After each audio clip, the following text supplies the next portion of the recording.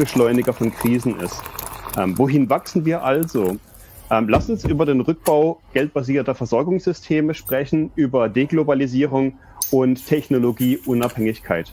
An dieser Stelle bitte begrüßt mit allen nötigen Emojis im Chat Professor Dr. Nico Pech. Einen wunderschönen guten Tag, meine sehr verehrten Damen und Herren. Ich möchte mich für die freundliche Einladung zur Remote Chaos Experience ganz herzlich bedanken. Der Titel meiner Ausführung lautet Globalisierung, Digitalisierung und die Wachstumsfrage.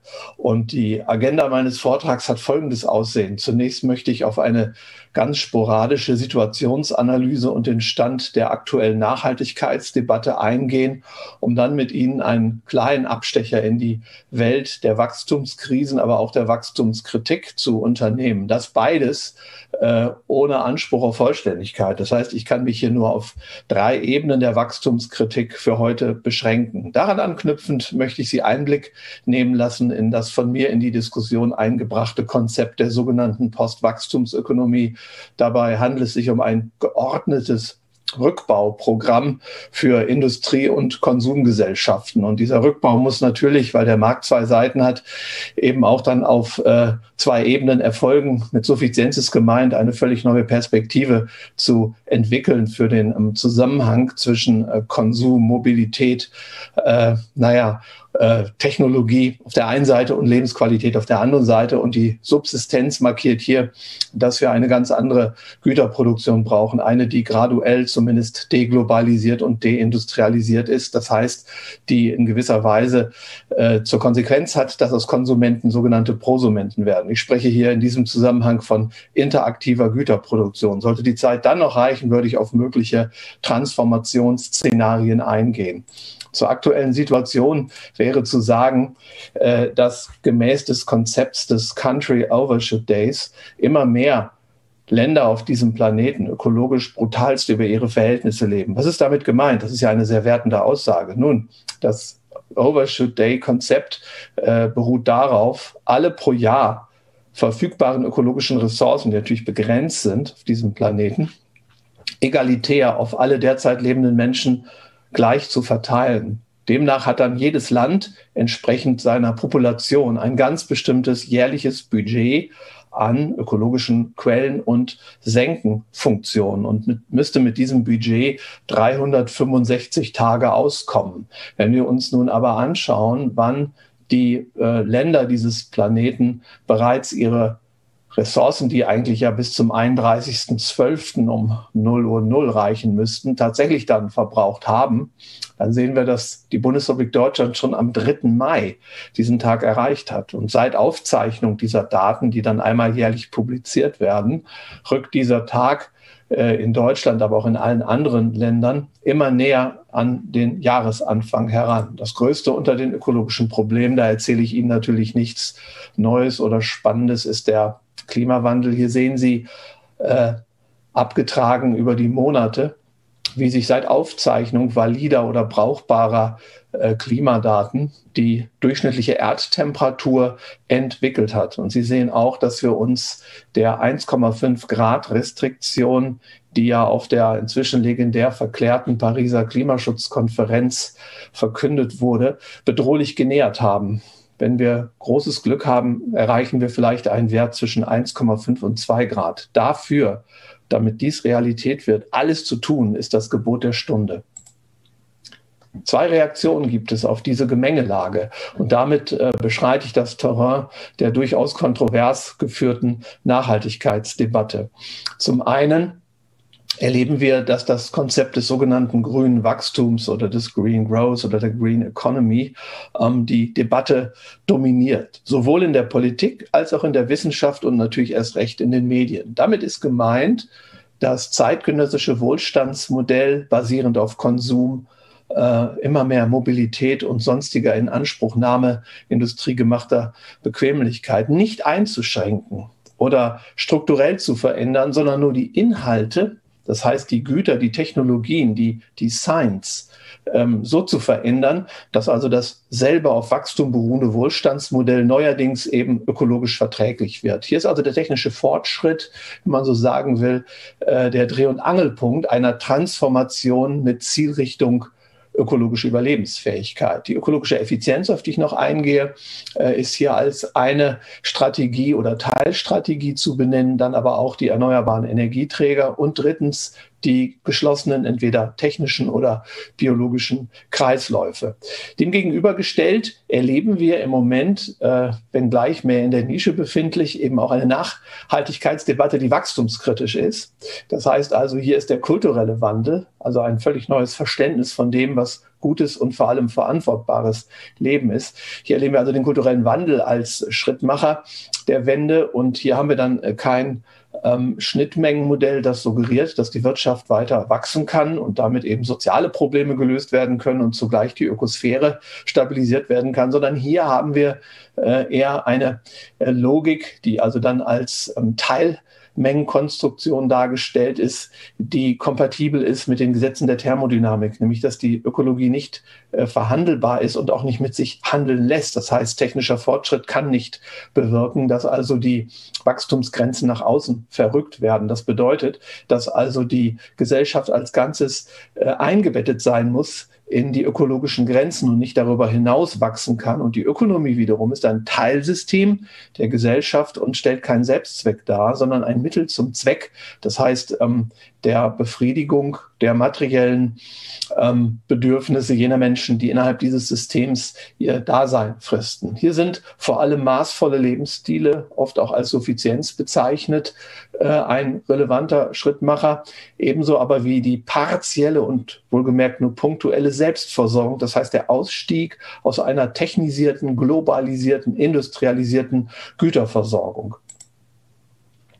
Wenn wir uns also vor allem das Paradigma des grünen Wachstums und damit die sogenannte Entkopplungsstrategie näher äh, anschauen, dann stellen wir fest, äh, dass hier so viele theoretische und empirische Widersprüche lauern, äh, dass man diese Strategie nicht ernsthaft in Erwägung ziehen kann. Aber eins nach dem anderen. Zunächst möchte ich noch eine andere Ebene der Wachstumskritik mit Ihnen beschreiten, die aber dann überleitet zu genau diesem Problem, nämlich der Unmöglichkeit eines sogenannten grünen Wachstums. Und diese Ebene, die ich als erstes also beschreiben möchte, bezeichne ich von ihrer, äh, ja, von, von ihrer Funktionsweise her, wenn man so sagen will, als Produktivitätsfalle. Wenn wir mal die Frage stellen, wie es überhaupt zu diesem exorbitanten Reichtum kommen konnte, den wir derzeit auf dem Planeten Erde erzielen und der noch vor wenigen Jahrzehnten selbst für die Reichsten der Reichen Science Fiction gewesen wäre, vor allem in Bezug auf die vielen technischen äh, und Mobilitäts- ähm, basierten Möglichkeiten, über die wir verfügen, dann gibt es verschiedene Antworten, verschiedene Narrative, möchte ich fast sagen,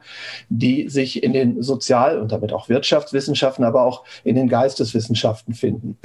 Ein roter Faden, der sich durch all diese Narrative zählt, ist, dass es natürlich vier industrielle Revolutionen waren, die also menschliche Gesellschaften äh, aus der Not befreit haben. Wobei dann unter Not zu verstehen war, dass jede Art der Transformation von Materie in Güter sich eigentlich nur speisen konnte aus der handwerklichen, der manuellen, der körperlichen Arbeit der Individuen einer Gesellschaft. Und wenn dann alle arbeitsfähigen Menschen ausgelastet waren, dann war damit auch äh, ein Output-Niveau erreicht, das über Jahrtausende hinweg nicht wachsen konnte. Erst mit der industriellen Revolution Nummer eins, das war die Etablierung der Dampfmaschine, mit der man dann Manufakturen, Werkstätten und zum Teil auch die Agrarproduktion mechanisieren konnte, gelang es plötzlich, aus diesem engen Korsett der begrenzten Produktion auszubrechen, in dem die menschliche Hand jetzt nicht mehr direkt den Spaten oder den Hobel anfasst, sondern einen Schalter umlegt und damit Kräfte entfesselt, die weit über die äh, Energievorräte eines äh, menschlichen Körpers hinausreichen. So konnte also bei gleicher Beschäftigung äh, also die Produktion potenziert werden. Und das setzte sich sofort mit entsprechenden Wachstumsraten über die zweite industrielle Revolution, also die Elektrifizierung, dann die dritte, die vor allem die erste Welle der Computerisierung der Mikroelektronik und damit auch der Automatisierung äh, mit sich brachte. Und jetzt äh, erleben wir gerade den Beginn einer noch viel furioseren industriellen Revolution, nämlich der sogenannten Industrie 4.0, die darauf beruht, absolut alles, ja, was in irgendeiner Form in Verbindung mit Wertschöpfung steht, zu digitalisieren. Das Ganze mündet ein, also alle vier industriellen Revolutionen, in die Erhöhung, teilweise sprunghafte Erhöhung der Arbeitsproduktivität. Das heißt, wir brauchen immer weniger Arbeitskräfte, um ein bestimmtes Quantum ähm, an Produktion ähm, zu gewährleisten. Und das hat natürlich dann verschiedene Nebenwirkungen, außer dass wir immens reich geworden sind. Mit wir meine ich natürlich nicht den globalen Süden oder noch nicht den globalen Süden, denn auch dort äh, ist ja mit einer atemberaubenden Geschwindigkeit festzustellen, dass also unser äh, Industriemodell eben kopiert wird. Also das heikle Verhältnis, äh, das damit heraufbeschworen wird, ähm, spielt sich ab eben zwischen technischen, ökonomischen, ökologischen und schließlich auch sozialen Belangen. Denn genau dieselbe Technologieentwicklung, die uns so reich hat werden lassen, bedingt ja auch mit weniger Arbeitskraft in der Lage zu sein, ein bestimmtes Output-Niveau zu erreichen. Und dies, das hat schon Karl Marx sehr trefflich beschrieben, kann dann eben auch zu sozialen Krisen führen, weil wir dann eben Massenarbeitslosigkeit befürchten müssen. Aber die Grundidee eigentlich der Entwicklung aller Industriestaaten, und zwar ganz egal, ob wir von sozialistischen Planwirtschaften oder äh, kapitalistischen Marktwirtschaften reden, ist, dass hinreichendes Wachstum dafür sorgt, dass die Früchte der Technisierung eben nicht einmünden in soziale Krisen. Das heißt, wenn bei VW beispielsweise also eine neue Generation der Robotik dafür sorgt, dass man nur noch halb so viel Arbeiter braucht oder Arbeiterinnen, äh, um einen bestimmten Output zu erzeugen, und dann die Gefahr besteht, dass man die Hälfte der Belegschaft freisetzen muss, dann müsste schlicht und ergreifend der Output nur verdoppelt werden und schon würde trotz des technischen Fortschritts erreicht äh, werden, dass alle Menschen an Bord bleiben können, die dort bislang auch beschäftigt waren. Aber was uns jetzt ins Haus steht an sprunghafter Steigung der Arbeitsproduktivität, das ist äh, absolut epochal. Die sogenannte Industrie 4.0 beruht auf verschiedenen Paradigmen, die Sie alle wahrscheinlich besser kennen als ich, als Teilnehmer dieser Konferenz, also künstliche Intelligenz, also Ambient Intelligence, äh, Robotik, ein, ein sogenanntes äh, Internet der Dinge, äh, Fab Labbing, 3D-Druck, ähm, Big Data, vor allem in der wissensintensiven Wirtschaft und Dienstleistungswirtschaft, Beratungswirtschaft, auch Finanzwirtschaft, dann eine völlig erweiterte Möglichkeit von Sensorik, etwa in Fertigungsstätten oder dort, wo Endfertigung stattfindet, vor allem dann eben dort auch digitale Endgeräte mit der sogenannten SLAM-Charakteristik und den weiteren Entwicklungen, äh, die sich ähm, daraus eben entgeben, ergeben haben.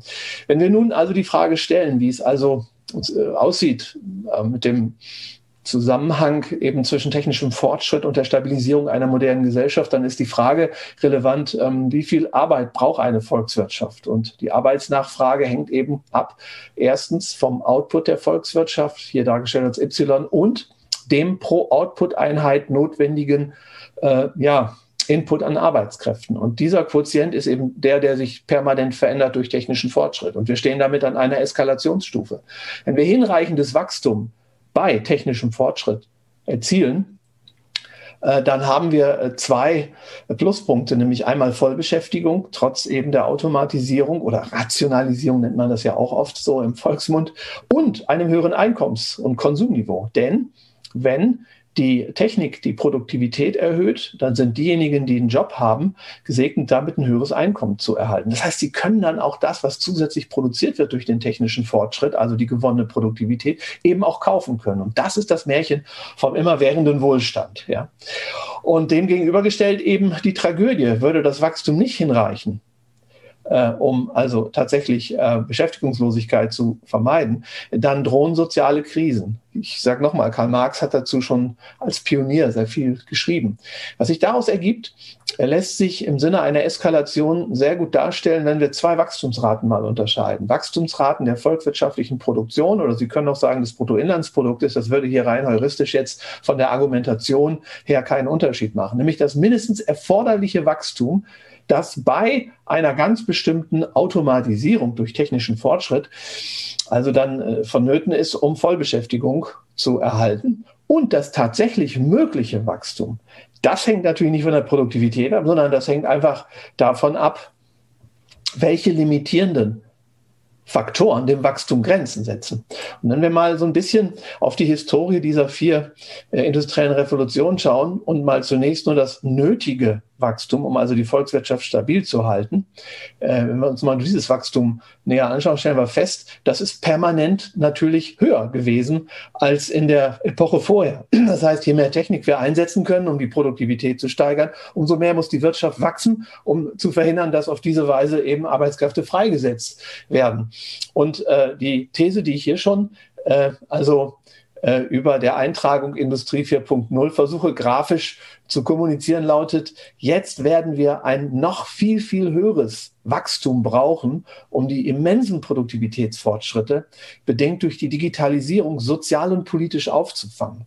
Wenn wir uns jetzt die andere Wachstumsrate angucken. Also nicht die theoretisch erforderliche, um Vollbeschäftigung trotz Automatisierung zu haben, sondern jene, die überhaupt möglich war, das ist die Rückschau bis zur dritten industriellen Revolution oder die vermutlich möglich sein wird. Ab da haben wir hier keine Empirie mehr, sondern das ist schlicht und ergreifend meine These, die ich hier aufstelle. Da stellen wir fest, Während der ersten drei industriellen Revolutionen haben wir mit der Brechstange und Unterplünderung des Planeten irgendwie gerade erreichen können, dass das Nötige für die Vollbeschäftigung nötige Wachstum dem Möglichen entsprach. Ja, wir haben sogar eine Phase erlebt, wo das Wachstum in Deutschland so boomte, dass trotz äh, anfänglicher dritter industrieller Revolution sogar ein Arbeitskräftemangel vorlag. Das ist die Zeit, als wir viele Mitbürgerinnen und Mitbürger aus der Türkei haben überreden können, äh, in Deutschland die Zelte aufzuschlagen und hier zu arbeiten. Wir sollten diesen Menschen vielleicht sogar dankbar dafür sein. Aber was uns jetzt droht, ist, dass wir in ein doppeltes Dilemma schlingern. Erstens, noch nie zuvor war Mitteleuropa so reich wie jetzt und stand noch nie unter einem solchen Wachstumsdruck, weil eben der technische Fortschritt, den wir anstrengen durch die Digitalisierung, eben durch die äh, Freisetzung von Arbeitskräften eben eine Zerreißprobe bedeutet. Gleichzeitig standen wir noch nie vor solch eklatanten Wachstumsgrenzen. Denken wir an den Klimawandel, den Artenschwund, die äh, Verringerung der Ressourcenvorräte, vieles andere mehr. Das muss ich Ihnen hier überhaupt nicht näher erläutern. Und diese Kluft wird nicht durchhaltbar sein.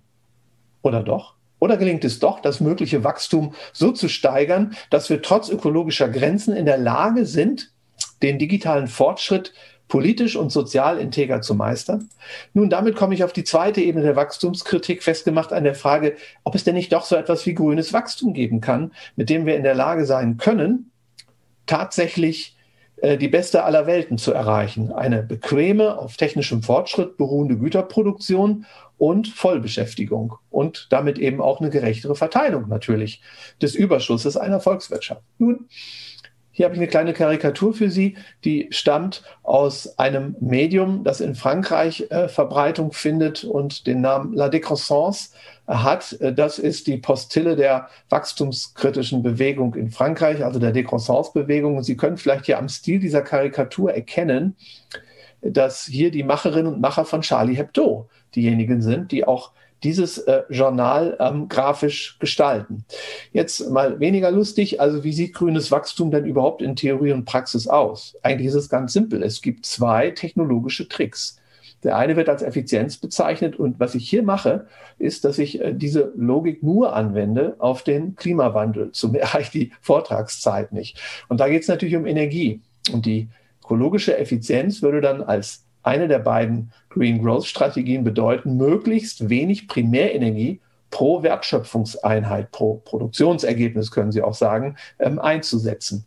Und die äh, zweite Strategie als Teil oder als zweiter Stützpfeiler des grünen Wachstums ist die sogenannte ökologische Konsistenz. Hier geht es nicht darum, Ressourcen, in diesem Fall Primärenergie, einzusparen, sondern die Qualität der Umwandlung und auch der Auswahl von Ressourcen so zu optimieren, dass die Schadintensität einer verbrauchten Input-Einheit, also Primärenergieeinheit, möglichst gering ist. Also das heißt hier konkret bezogen auf das Beispiel Klimaschutz, die CO2-Intensität einer Primärenergieeinheit zu minimieren. Und die erneuerbaren Energieträger, und das ist das Paradigma de, der deutschen Energiewende, äh, naja, das ist natürlich dann alles äh, nichts anderes als eine Strategie der Vermehrung der Nutzung äh, erneuerbarer Energieträger. Und der Gesamteffekt lässt sich dann als äh, verminderte CO2-Emissionen pro Wertschöpfungseinheit darstellen. Und wenn Sie das grafisch mal anschauen wollen, sieht das so aus wie hier rechts auf der Folie. Das Bruttoinlandsprodukt, BIP abgekürzt, soll weiter wachsen. Hurra, unser Wohlstand wird nicht eingeschränkt.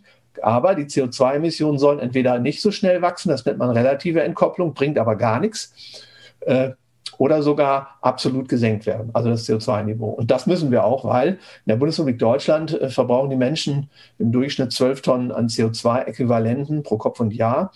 Und wir müssten runter auf eine Tonne laut Angabe äh, des Umwelt- äh, Bundesamtes, das ja im Auftrag der Bundesregierung eben auch tätig ist. Das heißt, wir müssten also die Pro-Kopf-Emissionen in Deutschland äh, um den Faktor 12 verringern.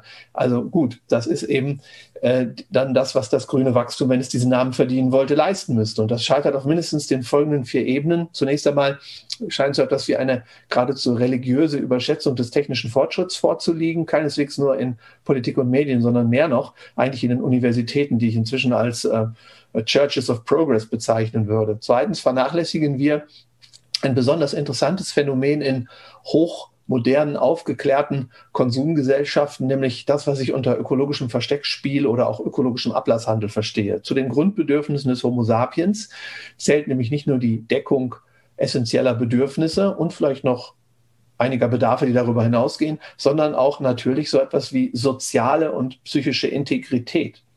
Und das setzt voraus, kognitive Dissonanzen zu äh, verarbeiten oder in irgendeiner Form zu tilgen.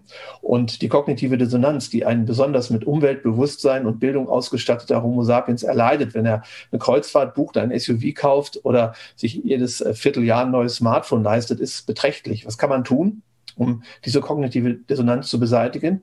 Indem ganz einfach das gelingt, indem zusätzlich zu den bisherigen ruinösen ökologischen Aktivitäten dann eben auch noch die äh, Photovoltaikanlage aufs Dach gesetzt wird, ökofairer Kaffee getrunken wird oder Unterwäsche von Hess Natur gekauft wird. So wächst also beides um die Wette. Das Schmutzigste und das weniger Schmutzige. Und das kann natürlich innerhalb ökologischer Grenzen auch nicht darstellbar sein. Und vor allem ist dieses ökologische Versteckspiel eine Stabilisierung einer ökosuizidalen Lebensweise. Dann drittens haben wir eine massive Unterschätzung sogenannter Rebound-Effekte. Das sind also die Nebenwirkungen der eingesetzten technologischen oder sonstigen Innovationen mit dem Ziel immer, äh, die Wirtschaft von ökologischen Schäden zu entkoppeln. Da haben wir einkommensbedingte Rebound-Effekte, die darauf beruhen, dass wenn wir effizientere, in diesem Fall also, um beim Beispiel zu bleiben, energieeffizientere Technologien einsetzen, dass wir dann ja auch ähm, Geld sparen. Und dieses eingesparte Geld kann dann wieder investiert werden für den, wenn es sein muss, schmutzigsten Konsum. Muss nicht so sein, aber äh, laut aller vorliegenden Studien ist es teilweise schon der Fall. Und ein viel, viel eklatanterer Rebound-Effekt, das ist der materielle Rebound-Effekt, beruht darauf, dass bis heute noch nie eine Technologie erfunden oder auch nur ersonnen oder geschweige denn praktiziert wurde, die es vermochte, einen ökologischen Schaden zu beseitigen, ohne ihn räumlich, stofflich, zeitlich oder systemisch zu verlagern. Das muss man sich klar machen. Auch Photovoltaikanlagen und äh, Windkraftanlagen fallen ja nicht vom Himmel und vor allem sie kommen nicht ohne Platzbedarf auf. Aus, Entschuldigung. Das heißt, sie verlagern eigentlich ein ökologisches Problem in einem bestimmten Aggregatzustand, in diesem Fall gasförmig, einfach nur in einen anderen ähm, physischen und damit ökologisch relevanten Aggregatzustand. Das ist alles. Äh, das heißt übrigens nicht, dass äh, Wind und Sonne schlechte Energiequellen sind. Das heißt nur, dass sie das Wachstumsproblem nicht lösen können. Das ist gemeint. Der vierten Ebene, die ich hier äh, auch ohne Anspruch auf Vollständigkeit noch kurz benenne, äh, geht es mir darum, die Handlungsunfähigkeit und das Versagen moderner Politik herauszustellen. Oft wird ja geklagt darüber, ah, der Markt ist böse und er schafft das natürlich nicht, eine ökologische Wende herbeizuführen. Völlig richtig, das würde ich sofort unterschreiben. Aber die Politik, die versagt, muss dann eben bitte auch genannt werden. Also zur Techniküberschätzung, hier sehen wir mal das Wunderwerk der deutschen Energiewende. Und nochmal, die Bundesrepublik Deutschland gilt auf dem internationalen Parkett als Musterschüler des Klimaschutzes.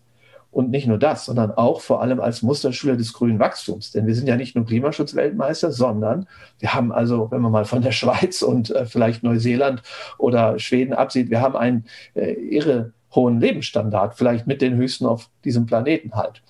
Und die Königsdisziplin der deutschen Energiewende ist nichts anderes als den Anteil der erneuerbaren Energieträger der gesamten Energieverbrauchsmenge äh, kontinuierlich zu steigern. Und was in Deutschland geschehen ist, äh, vor allem auch mit der Brechstange gegen die letzten Landschaften, wenn wir von Windenergie vor allem reden und Biogas, äh, aber auch Photovoltaik-Freiflächenanlagen, das kann sich sehen lassen. Das äh, ist auch gar nicht zu verstecken. Ganze Landschaften sind umgewandelt worden. Und das Ergebnis ist, dass an der gesamten Primärenergiemenge, die wir in Deutschland verbrauchen, gerade mal 15 Prozent regenerativ sind. Und das ist zum Teil sogar eine sehr katastrophale Energieerzeugung, weil nämlich etwa die, äh, nicht mehr ganz, aber bis vor kurzem die Hälfte davon eben Bioenergie ist. Und Bioenergie hat keine positive CO2-Bilanz, erhöht die CO2-Mengen. Das wissen wir inzwischen auf Basis von vielen Studien zur Ökobilanzierung eben der sogenannten Bioenergie. Also das ist die Elektrizität, die aus den Biomassekraftwerken kommt.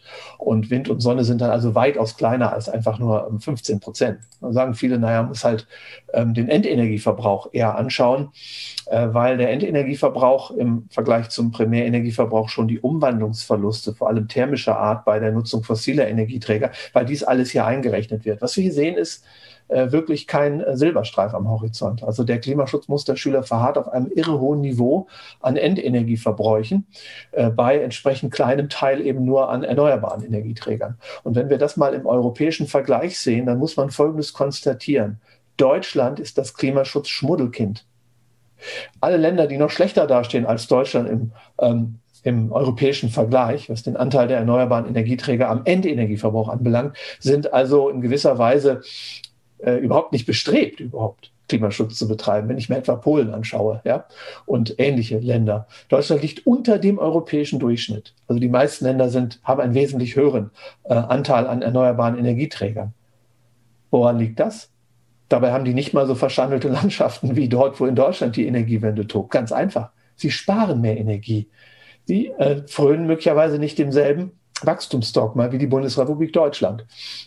Wenn man sich dann die Bruttostromerzeugung anschaut, wird einem schwindlig und Sie wissen ganz genau, warum die nach wie vor steigt, trotz angeblicher Effizienz. Richtig, es ist die Digitalisierung. Wenn wir uns die CO2-Emissionen anschauen, stellen wir fest, naja, es hat da so ein paar Einbrüche gegeben. In, Im Hinblick auf die makroökonomisch betrachtete Höhe der äh, CO2-Mengen, äh, energiebedingt. Nur, das hat nichts mit grünem Wachstum, auch nichts mit technologischer Entkopplung zu tun. Erstens die energieintensivsten Bestandteile der Produktionsketten, die für unseren Wohlstand in Deutschland maßgeblich sind, werden nach und nach Tendenz steigend verlagert, natürlich nach China, Indien und in einige andere Länder auch. So kann man natürlich die eigene umweltökonomische Gesamtrechnung in Bezug auf CO2 wunderbar aufhübschen. Aber es sind dann Fake News zu behaupten, wir hätten es geschafft, in Deutschland irgendwie einen, einen Fortschritt in Sachen Klimaschutz zu erreichen. Dann gibt es den Honecker-Degrowth-Effekt. Nun, der Zusammenbruch der DDR hat dann in den 90er Jahren der Bundesrepublik Deutschland den Ruf eingebracht, doch mal zu zeigen, wie es wirklich geht, äh, mit äh, Klimaschutz auf der einen Seite und der Bewahrung eines äh, rekordverdächtigen Wohlstandsniveaus. Die Lehman Brothers haben Ähnliches geleistet. Man müsste jetzt noch Klaus Wobereit nennen, der der beste Klimaschutzmanager aller Zeiten ist, halt nicht so ein guter Flughafenmanager anscheinend oder ähm, politischer Manager. Aber dass er den BER so verzögert hat, heißt, dass er die schlimmste CO2-Schleuder äh, Berlins damit eben auch verzögert hat. Aber noch wichtiger ist mir der vierte Aspekt. Das legendäre als Klimaschutzdurchbruch verklärte EEG in Deutschland. Bedeutet ja, dass wenn ich Anlagen aufstelle und erneuerbaren Strom produziere, dann kriege ich eine verdammt hohe Vergütung, nicht vom Staat, sondern von den Energiekonzernen, die durch das EEG dazu verdonnert werden. Soweit, so gut. Und wenn ich dann jetzt plötzlich so mehrere solcher Windparks eröffnet habe, hoffentlich nicht unbedingt im Mittelgebirge, wo ich noch mehr Landschaften zerstöre, sondern an geeigneter Stelle und ich damit so viel Energie erzeuge, dass ich äh, Kohle- oder Braunkohlekraftwerke herunterfahren kann, hurra, habe ich dann CO2-Emissionen eingespart? Punkt eins. Das klappt ja schon deshalb nicht, weil die Übertragungsnetze und die Speicherkapazitäten so weit davon entfernt sind, sich auf das Niveau zu entwickeln, das wir bräuchten, um eventuell äh, erneuerbare Energieträger hernehmen zu können, damit wir Braun- und Steinkohle ersetzen. Klammer zu. Aber selbst wenn, dann haben wir folgendes Problem. Es gibt nämlich außer dem EEG noch ein viel wichtigeres äh, Rahmenwerk, was den äh, gesetzlichen Klimaschutz anbelangt. Und das ist der europäische Emissionshandel. Das heißt so viel wie, dass jeder Betreiber eines fossilen Kraftwerks natürlich im Umfang der durchschnittlichen jährlichen Emissionen Emissionszertifikate, also Lizenzen braucht. Und die sind Geld wert. Wenn also jemand seine Emissionen senkt, dann äh, unter Umständen auch deshalb, um dann die Zertifikate, die nicht mehr benötigt werden, auf dem dafür vorgesehenen Markt äh, zu verkaufen. Wenn also in Deutschland jemand ein Kohlekraftwerk runterfährt, weil es nicht mehr gebraucht wird, durch den Ausbau von Windkraft, dann werden die Zertifikate nicht verbrannt im Kamin, sondern die werden schön hübsch verkauft. Und dann findet sich natürlich irgendwo in Europa ein anderer Kraftwerksbetreiber, der sich freut, dass er diese Zertifikate günstig kriegt. Denn wenn der bisherige Halter der Zertifikate sie nicht los wird, dann wird der Preis so lange gesenkt, bis die Zertifikate einen Käufer oder eine Käuferin finden. Und wer sind die Käufer? Das sind diejenigen, die die ineffizientesten Kraftwerke haben, weil für die ist es ja eine Option, lieber Zertifikate zu kaufen, als durch technischen Fortschritt in irgendeiner Form CO2 zurückzuhalten, was übrigens Klammer auf, auch nicht wirklich klappt, Klammer zu. Das heißt, das Ganze ist am Ende Nullsummenspiel. Deswegen können wir an den Verläufen der CO2-Emissionen in der Bundesrepublik Deutschland überhaupt nicht erkennen, ob wir irgendeinen Fortschritt in Sachen Klimaschutz erzielt haben. Und wenn wir uns dann eben anschauen, wie die Verlagerung auch der energiebedingten CO2-Emissionen weltweit erfolgt, dann ist das wirklich äh, äh, exorbitant. Das heißt, wir verlagern immer mehr äh, nach außerhalb äh, auch Europas, also nicht nur innerhalb Europas. Eine zweite Sollbruchstelle des Wachstumsdogmas äh, liegt dort, wo wir nochmal zurückkehren, vielleicht zu der Frage, woher unser Wohlstand kommt. Ich hatte ja schon gesagt, das sind vier industrielle Revolutionen, die maßgeblich dafür sind, aber die gehen natürlich einher mit einer entgrenzten Produktion.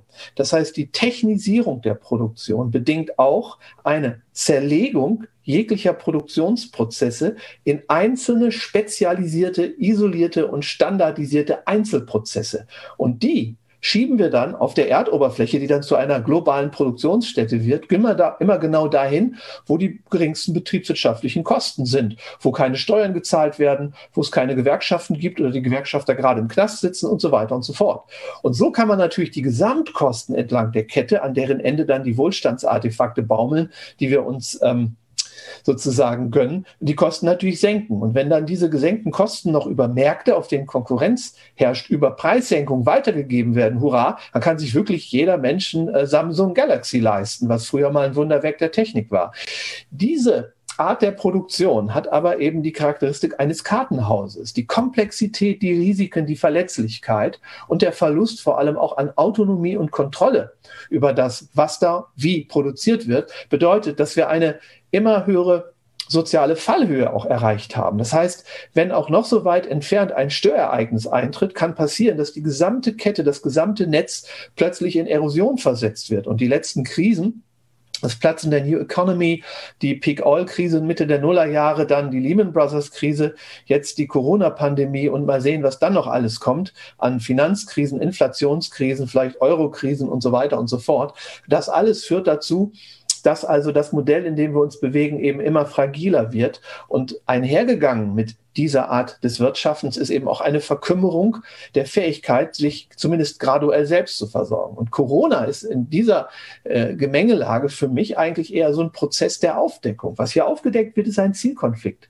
zwischen einer technisierten und globalisierten Minimierung betriebswirtschaftlicher Kosten was sich dann niederschlägt in volkswirtschaftlichem Wachstum auf der einen Seite und der Resilienz, das heißt der Krisenrobustheit auf der anderen Seite. Wenn alles mit allem verbunden ist und das ist das Resultat der Digitalisierung, dann geht eben auch alles den Bach runter, wenn an bestimmten Stellen eben die ähm, exogenen Schocks oder Störereignisse äh, für Schaden sorgen. Und das äh, wirft uns zurück auf die äh, Ebene, da wo gefragt wird, ob der Spatz in der Hand dann nicht vielleicht besser ist als die Taube auf dem Dach. Denn der Spatz in der Hand heißt etwas bescheidener zu sein, aber dafür die Sicherheit zu haben, dass also eine bestimmte Versorgungsleistung auch erbracht werden kann. Corona, äh, Viren und CO2 Moleküle haben da also tatsächlich eine ähnliche Eigenschaft. Sie äh, Sie, sie werfen uns zurück äh, vor die ursprüngliche Fragestellung, also am Vorabend der ersten industriellen Revolution. Äh, was geben wir alles auf? Was ist der Preis dafür, dass wir diesen globalisierten, technisierten Wohlstand eben nutzen? Und äh, diese Wachstumsfrage, an die uns eben nicht nur der, also der Corona-Effekt führt, ähm, lässt uns natürlich auch einen ganz neuen Diskurs in Augenschein nehmen, der, der da überschrieben ist mit Resilienz, also Krisenstabilität. Es gibt in der Tat so etwas wie eine kleine Dogmenhistorie, des Denkens in Kategorien von Resilienz, nämlich dass der Spatz in der Hand, ich sage es nochmal, unter Umständen die bessere Lösung ist im Vergleich zur Taube auf dem Dach. Ich will jetzt auf die einzelnen äh, Autoren, die ich hier abermals ohne Anspruch auf Vollständigkeit vermerkt habe, nicht eingehen. Ich will nur sagen, dass resiliente Systeme natürlich kleinräumig, genügsam, autonom, flexibel, vielfältig sind und gekennzeichnet sind durch eine viel geringere Komplexität und geringere Distanz zwischen Verbrauch und Produktion. Was übrigens den Nebeneffekt hat, dass wir dann Produktionsbedingungen eventuell eben auch demokratischer, selbsttätiger äh, gestalten können. Genügsamkeit ist aber eine Voraussetzung dafür. Denn die Abkehr von der großen globalisierten Wirtschaft bedeutet immer, dass wir nicht dasselbe Wohlstandsniveau aufrechterhalten können. Ja, damit sind wir letzten Endes schon an dem Punkt, wo es äh, um einen Lösungsvorschlag geht, den ich als Postwachstumsökonomie bezeichne und der sich aus einer zunächst einmal groben oder makroökonomischen Perspektive folgendermaßen skizzieren lässt. Wir sind also durch die vier industriellen Revolutionen vermittels eines exponentiellen Anstiegs äh, der Wohlstandsproduktion immer reicher geworden, haben aber tatsächlich die Belastungsgrenzen der Ökosphäre durchbrochen und müssen jetzt durch einen Rückbau weil die Technik nicht weiterhilft. Das habe ich ja anhand eines simplen Beispiels versucht, grob zu skizzieren und müssen durch einen Rückbau praktisch der Gütermengen, der Produktionskapazitäten dafür sorgen, dass wir wieder innerhalb ökologischer Grenzen verbleiben können. Und äh, in diesem Zusammenhang äh, habe ich versucht, die sogenannte Postwachstumsökonomik, eine ökologisch orientierte, auf den Grundlagen der Thermodynamik basierende Teildisziplin der Wirtschaftswissenschaften zu etablieren. Und hier will ich Ihnen nur ganz kurz sagen, dass es hier um drei wichtige Aspekte geht, um Wachstumskritik aus theoretischer und empirischer, also in jeder Hinsicht wissenschaftlicher Sicht, dann aber auch äh, die Frage nach den Wachstumszwängen. Und drittens schließlich, und darauf will ich jetzt ganz kurz noch eingehen, drittens schließlich geht es in der Postwachstumsökonomik darum, was sind denn dann zukunftstaugliche, nicht mehr auf Wachstum beruhende Versorgungssysteme, die sich demokratisch, freiheitlich, friedlich auch wirklich umsetzen lassen. Und diese verschiedenen Versorgungsmuster will ich heute nur ganz, ganz grob zusammenfassend noch ähm, skizzieren und sie lassen sich unterteilen oder lassen sich ähm, erstrecken eigentlich auf die beiden Seiten eines Marktes, nämlich auf die Nachfrage- und Angebotsseite. Also die Angebotsseite nämlich als nächstes, als übernächstes dran. Erstmal möchte ich den Blick mit Ihnen werfen auf die Nachfrageseite.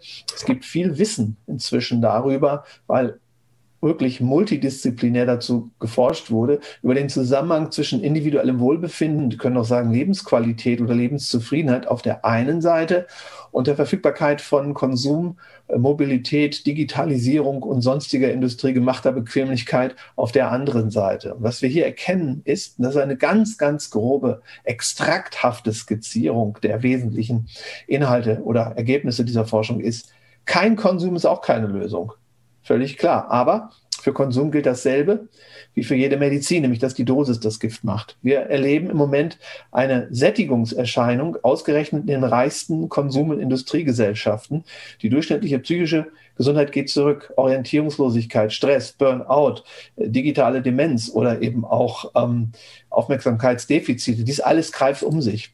Womit ich sagen will, ist, dass der Großteil wir reden von 90 Prozent der Bevölkerung moderner Konsumgesellschaften, äh, über ein Nutzen steigerndes, Lebensqualität erhöhendes Reduktionspotenzial verfügt, um endlich stressfrei in der Lage zu sein, äh, die nicht vermehrbare menschliche Aufnahmekapazität und auch die nicht vermehrbaren psychischen Ressourcen auf ein bestimmtes Quantum an Wohlstand zu richten um das dann auch tatsächlich äh, ausschöpfen zu können, statt in einer Lawine der Multioptionalität zu versinken. Das ist, um es ganz kurz und prägnant zu charakterisieren, äh, der aktuelle Zustand, den wir also ähm, durchleben. Dazu habe ich ein kleines Büchlein zusammen mit Manfred Volkers vorgelegt. Hier geht es um eine buddhistische und eine eher knallhart ökonomische Analyse der Möglichkeiten einer reduktiven Wende. Wenn wir uns jetzt die Angebotsseite hingegen anschauen, dann müssen wir die Frage stellen, wie denn das, was dann noch übrig bleibt nach einer Entrümpelung der Gesellschaft, wie das produziert werden kann. Und das verteilt sich eben auf drei Produktionssysteme. Und zwar ist es so, dass derzeit drei Produktions, also dass diese drei Produktionssysteme hinlänglich bekannt sind. Wir haben einmal die globalisierten, kapitalintensiven, technisierten industrialisierten Wertschöpfungsketten, die uns, wie ich das ja heute grob beschrieben habe, so reich haben werden lassen, uns aber auch äh, an einen ökologischen Abgrund geführt haben und äh, da hilft uns die technologische Entwicklung eben nicht weiter. Dieser Teil der Wirtschaft muss zurückgebaut werden, aber bitte nicht auf Null, sondern vielleicht auf 50 Prozent. Und das auch nicht von heute auf morgen im Sinne einer Rostkur, sondern geordnet durch einen allmählichen kulturellen und hoffentlich auch politischen Wandel. Dann müssen aber die beiden anderen Produktionssysteme, nämlich die Regionalökonomie, die weniger komplex, weniger technisiert ist und eben natürlich kürzere Distanzen zwischen Verbrauch und Produktion aufweist, und die reine lokale Subsistenzwirtschaft. Sie können sagen, Eigenarbeit, selber machen Selbstversorgung. Diese beiden Bereiche müssen dann eben auch ausgebaut werden. Wenn wir diese Transformation unter dem äh, Aspekt äh, gelingender gesellschaftlicher, sozialer Gerechtigkeit und Stabilität betrachten, haben wir sofort ein Problem. Wie können wir denn Vollbeschäftigung gewähren, wenn die Wirtschaft langsam aber sicher um 50 Prozent gemessen an ihrer Wertschöpfung äh, zurückgebaut wird?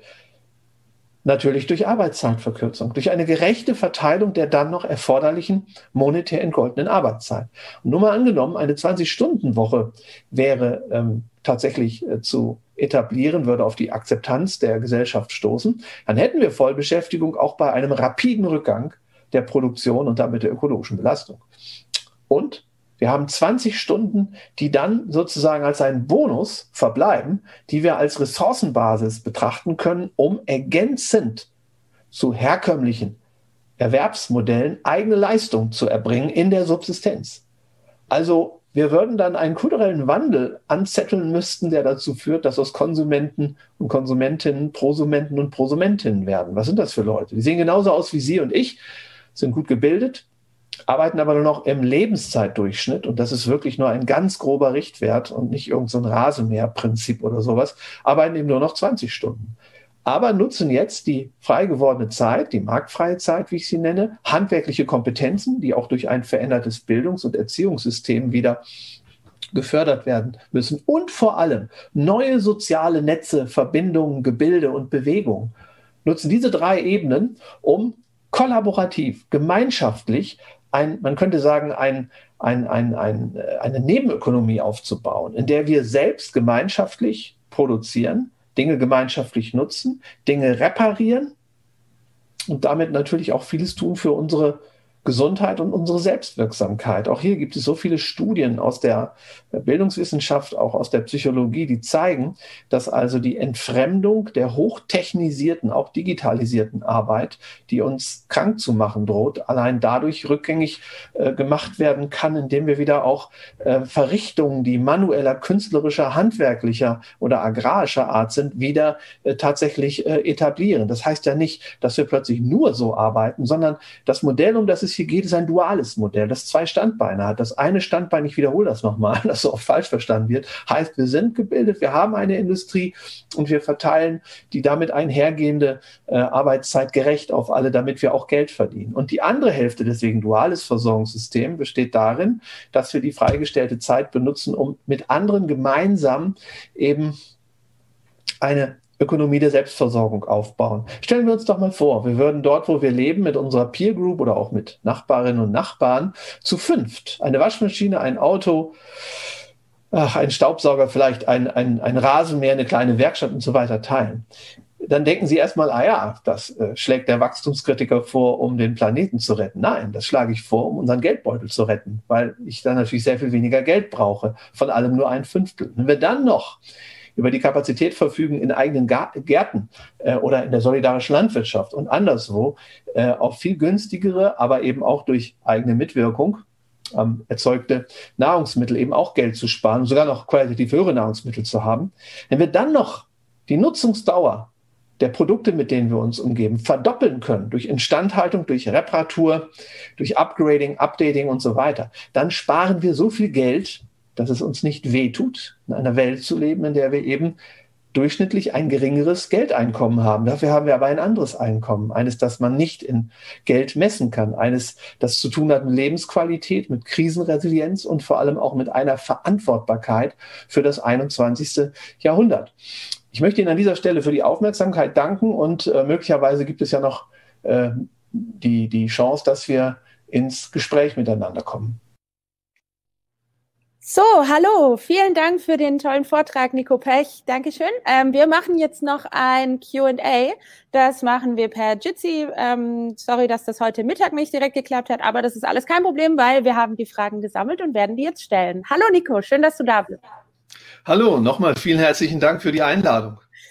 So, dann äh, steigen wir auch direkt ein. Die erste Frage ist, äh, was siehst du denn als Wege in eine Postwachstumsökonomie und wie könnten diese global beschritten werden?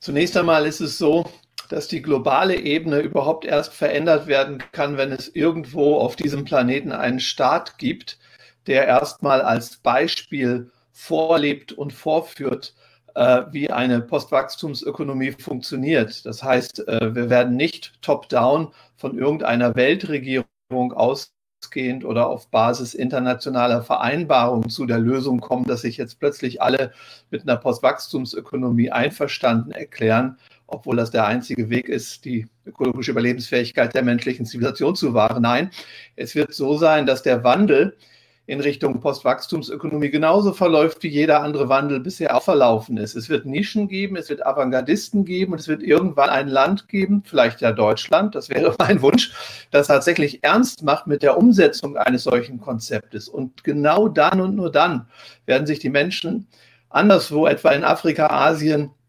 Lateinamerika werden sich damit vielleicht anfreunden können, weil sie dann sinnlich erfahren können und nicht nur theoretisch, dass es kein Gang äh, nach Canossa oder in die Höhle oder ins Mittelalter ist, eine ökologisch verantwortbare Daseinsform tatsächlich auch zu praktizieren.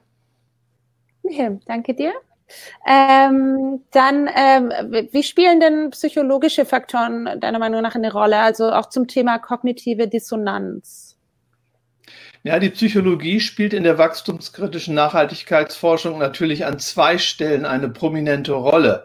Zunächst einmal, wenn wir das Misslingen aller bisherigen Versuche, eine nachhaltige Entwicklung äh, zu initiieren, mal äh, Revue passieren lassen, dann stellen wir fest, dass das Phänomen der kognitiven Dissonanz hier maßgeblich ist. Das heißt, wir haben in der Bundesrepublik Deutschland ein unglaublich äh, prägnantes Phänomen, das ich würde mal sagen, gefühlt seit 30 Jahren feststellbar ist, nämlich dass wir jedes Jahr neue Rekorde aufstellen, was die Verbreitung, die Nutzung äh, und auch das Anpreisen nachhaltiger Lösungen anbelangt. Alles, was irgendwie mit nachhaltiger Entwicklung, Klimaschutz oder dergleichen zu tun hat, erreicht also ständig neue Höchstmarken. Gleichzeitig erreichen auch die pro Kopf in Anspruch genommenen äh, ökologischen Ressourcen immer weiter einen ähm, neuen Rekord. Das heißt so viel wie, dass der Mensch als ein Wesen, das nicht alle naturgegebenen Charakteristika überwinden kann, nicht nur Grundbedürfnisse hat, die man als anthropologische Konstanten bezeichnen muss, sondern dass der Homo sapiens offensichtlich auch nach psychischer Stabilität strebt. Ähm, das heißt so viel wie, dass je gebildeter ein Mensch ist, und je ausgeprägter sein Umweltbewusstsein ist, desto stärker ist die kognitive Dissonanz, wenn er ein Flugzeug besteigt oder jedes Vierteljahr ein neues Smartphone kauft. Und um nun tatsächlich ein psychisches Gleichgewicht wiederherzustellen, kauft derselbe Mensch eben Demeter Brühewürfel oder eben äh, Unterwäsche von Hess Natur oder trinkt nur ökofairen Latte Macchiato. Auf diese Weise wächst beides um die Wette. Einmal das Zerstörerische und das nur etwas weniger Zerstörerische. An der zweiten Stelle, wo die äh, Psychologie eine Rolle spielt, äh, da geht es einfach um Nachhaltigkeitskommunikation. Wir stehen immer vor der Frage, wie können Menschen motiviert werden, abzulassen von einer ökosuizidalen Lebensführung? Was motiviert sie? Und hier haben wir natürlich in der kognitiven Psychologie und auch sonst in der Umweltpsychologie unglaublich gute Hilfestellung.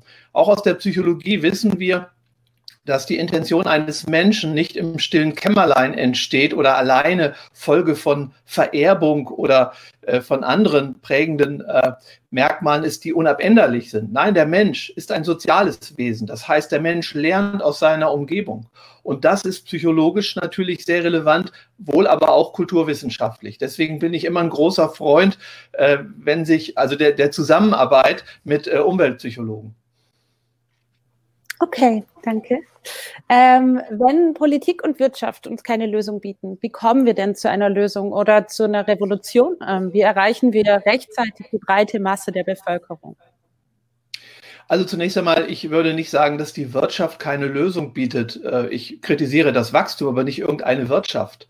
Alles, was mit der Produktion und der Nutzung und Verteilung von knappen Gütern äh, zu tun hat, ist irgendeine Form der Wirtschaft. Was ich selber vorstelle unter äh, dem äh, Begriffsmantel Postwachstumsökonomie ist auch eine Wirtschaft. Also natürlich gibt es wirtschaftliche Lösungen, sonst wäre ich nicht Ökonom geworden. Und auch die Politik könnte irgendwann handlungsfähig werden. Aber beides, die Wirtschaft und die Politik, können nur eine Transformation in Richtung Postwachstumsökonomie äh, vollziehen, wenn sich autonom in der Zivilgesellschaft ein Plural an verschiedenen Bewegungen bildet, die nicht einfach nur labern und kritisieren und fordern und die Welt scheiße finden, sondern die anfangen, tatsächlich durch vorgeliebte Beispiele, übrigens auch auf unternehmerischer Ebene und natürlich in Netzwerken, in neuen Institutionen, in neuen Projekten, in neuen Reallaboren oder auch avantgardistischen Zirkeln, in Peer Groups, in neuen Nachbarschaften und so weiter, die anfangen, das vorzuleben, von dem sich nach bestem Wissen und Gewissen sagen lässt, wenn der Rest der Welt dies auch täte, dann würden wir würdig demokratisch, frei, selbstbestimmt und ökologisch verantwortbar leben. Nur über die horizontale Verbreitung und soziale Interaktion des Neuen können wir eine kritische Masse erreichen, die auch von den Medien, von anderen Institutionen wahrgenommen wird. Und erst dann kann die Politik reagieren, und zwar in einer Demokratie. In China kann sie eher re äh, regieren, äh, reagieren, Entschuldigung, weil sie eben autoritär regiert, so wollte ich das sagen.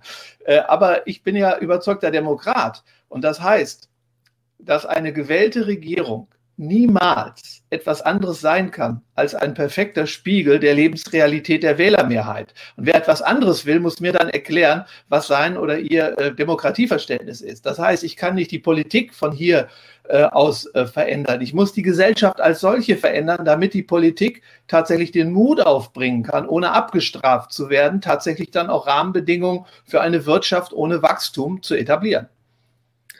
Ähm, ja, darauf aufbauend, wie, wie könnten denn politische Szenarien in Richtung Postwachstum aussehen? Also wie gesagt, jede Politik, die noch verhelfen kann dazu, dass wir ökologisch überleben, kann nur eine Politik der Restriktion sein eine Politik der Verminderung unserer Ansprüche. Das sagt man nicht gern in der Öffentlichkeit, aber ich habe ja in, in, dieser Hinsicht auch nichts mehr zu verlieren. Deswegen äh, glaube ich, äh, dass wenigstens einige das sagen müssen. Das heißt also, bevor die Politik das tun kann, muss die Bevölkerung zumindest in Teilen das schon eingeübt haben. Denn niemand ist so schizophren, da sind wir übrigens wieder bei der Psychologie, eine Politik zu wählen, die einen dazu zwingt, das zu tun, was Mann oder Frau freiwillig nicht zu tun gedenkt. Okay, aber wenn tatsächlich solche Mehrheiten da wären, ist es ganz einfach. Jeder Mensch hätte am 1.1. eines neuen Jahres ein bestimmtes Budget, zum Beispiel an CO2-Emissionen, die er oder sie noch freisetzen dürfte, an Abfall, an Flächenbeanspruchung und so weiter. Mit diesem Budget muss gewirtschaftet werden. Was die Politik auch tun kann, ist, sie muss unbedingt es den öffentlichen und privaten Unternehmen leichter machen, Arbeitszeit zu verkürzen. Denn wir können soziale Gerechtigkeit, Freiheit und Stabilität, am Ende auch die Demokratie nur bewahren, wenn der Rückbau der Wirtschaft einhergeht mit Verteilungsgerechtigkeit. Und das vollzieht sich am ehesten auf der Ebene der Verteilung der knapper gewordenen Arbeitszeit, wenn die Wirtschaft kleiner wird. Drittens muss die Politik das Bildungssystem umgestalten. Universitäten müssen geschlossen und teilweise zurückgebaut werden. Wir haben einen viel zu großen Hochschulbereich, der aus Menschen Konsumenten und Weltreisende macht. Wir brauchen eine Bildung, die Menschen dazu befähigt, wieder handwerklich, manuell, substanziell zu arbeiten. Und natürlich brauchen wir auch Universitäten, aber nicht so viele wie jetzt. Das heißt, der Bildungsbereich muss Menschen dazu befähigen, auch deindustrialisiert und deglobalisiert mit weniger Technologie in die Lage zu kommen, also eben auch sich zu versorgen. Ähm, ja, super, danke. Sorry, ich hatte hier kurz technisch Schwierigkeiten. Müsst, äh, gucken, ähm, gibt es denn zu dem erwischt, Thema ne? detaillierte Vorlesungen Feed, online von dir? Ja, probiere ich jetzt mal aus. Genau, das sollte äh, Es gibt von mir natürlich eine Menge Vorlesungen. Ähm, aber, und die sind natürlich jetzt äh, während der Corona-Pandemie logischerweise online aber die sind jetzt nicht öffentlich, weil sonst natürlich alle, die sich bei uns einschreiben, fragen, warum sie sich denn einschreiben, wenn alles, was an den Universitäten läuft, öffentlich ist. Aber, wisst, aber weißt du, äh, ich bin nicht jemand, der da so eine Art Wächterfunktion hat. Also wer einfach in eine Veranstaltung von mir kommt, wird nicht gefragt, wer er ist, wie er heißt und welche Berechtigung er oder sie hat. Ich habe das erlebt in der Präsenzzeit, in der Prä-Corona-Zeit, dass plötzlich Leute in Vorlesungen kamen und sich da verstohlen irgendwo hinsetzten aus Neugierde. Und die waren herzlich willkommen, diese Leute. Äh, aber ich meine, ich kann hier und da mal einen Vortrag beisteuern, der sicherlich auch Inhalte aus Vorlesungen mit aufgreift im Kontext von Postwachstumsökonomik. Okay. Ähm, wir haben jetzt tatsächlich gar nicht mehr so viel Zeit. Ähm, ich würde aber gerne noch die Frage stellen, ähm, also die Klimakrise ist ja auch eine soziale Krise und ähm, den Wachstumszwang Gesellschaft, gesamtgesellschaftlich aufzugeben scheint unumgänglich zu sein. Ja, ist 40, fünf Minuten Aber ähm, wie kann dabei noch ein gutes Leben für alle gewährleistet werden? Also gibt es Stichwort Umverteilung zum Beispiel. Also jede Art von Gerechtigkeit, die sich als Konzeption nicht in unheilbare Widersprüche verwickeln will, äh, muss eine globale Gerechtigkeit sein. Und Gerechtigkeit heißt, die knappsten Güter, also jene, von denen unsere Existenz abhängt, zuvorderst global gerecht zu verteilen. Und das heißt eben, dass der Verteilungsschlüssel des 21. Jahrhunderts sich nicht festmachen lässt an der Einkommens- oder Vermögenssteuer, obwohl ich für ein ganz anderes und viel gerechteres äh, Einkommens- und Vermögenssteuerrecht bin. Das ist gar keine Frage. Aber es geht um die Verteilung der ökologischen Ressourcen. Wer darf sich noch mit welchem Recht wie viel an materiellen Freiheiten nehmen, wohl wissen, dass es keine materielle Freiheit ohne ökologischen Verschleiß oder ohne ökologischen Schaden gibt?